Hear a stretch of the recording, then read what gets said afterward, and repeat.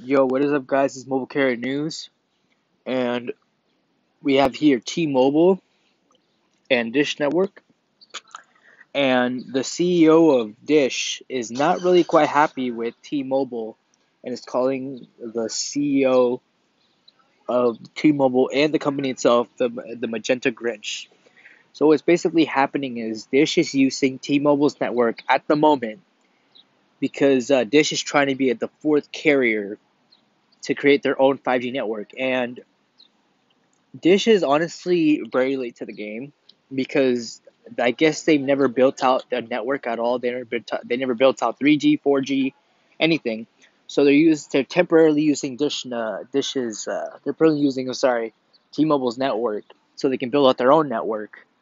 And what T-Mobile is going to do by January 2022, so next year, they're going to shut down they're using they're going to shut down a lot of um, Sprint's networks, and the thing is, Dish is using half of Sprint's and T-Mobile's networks, and Dish is not quite happy with that because they're going to have to replace that zero network with their own.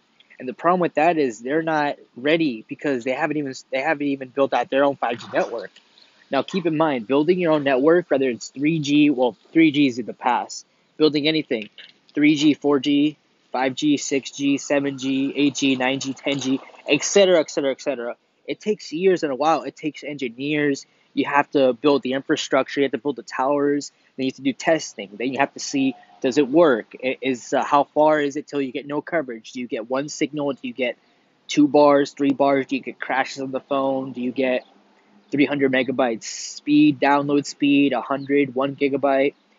it takes a while for to build out your own network regardless of what you're doing because it honestly took T-Mobile it took T-Mobile I think tw- since 2015 or 16 it took them a while to build out their 4G network and it just it just depends on too like how many engineers like for example Verizon they have the best engineers they can crank up and do they can crank up service fast uh, the same with AT and T. Even though you know Verizon's the biggest uh, company, AT and T and then T-Mobile, but all, all work at their own pace.